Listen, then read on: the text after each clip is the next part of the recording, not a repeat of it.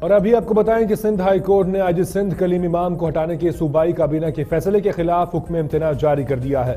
عدالت نے سندھ حکومت کو آج سندھ کے تبادلے سے روک دیا۔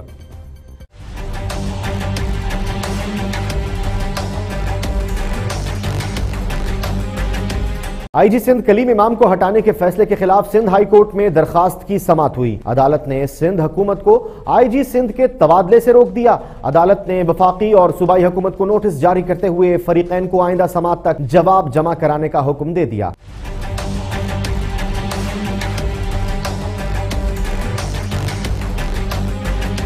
عدالت نے ریمارکس میں کہا کہ آئی جی کو ہٹانے سے پہلے وفاق سے مشاورت نہیں کی گئی۔ سندھ حکومت قانون کے مطابق وفاق سے مشاورت کر کے فیصلہ کرے۔ عدالت نے کیس کی سماعت اٹھائیس جنوری تک ملتوی کر دی۔